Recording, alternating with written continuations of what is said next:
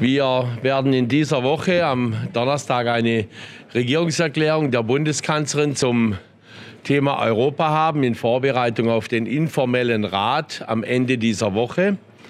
Und ähm, diese Regierungserklärung wird äh, uns wieder einmal deutlich machen, wie notwendig es ist, dass wir jetzt rasch eine handlungsfähige Regierung bekommen, damit wir äh, aus Deutschland aus unser ganzes Gewicht in die äh, Beratungen in Europa auch legen können.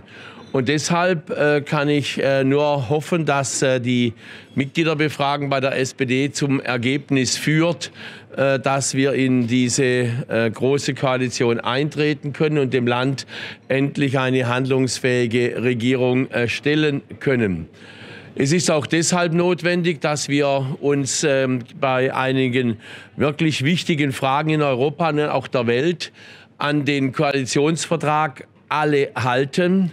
Da ist zum Beispiel äh, auf der Sicherheitskonferenz am vergangenen Wochenende in München von allen Seiten aus erklärt worden, es muss für die Bundeswehr mehr getan werden.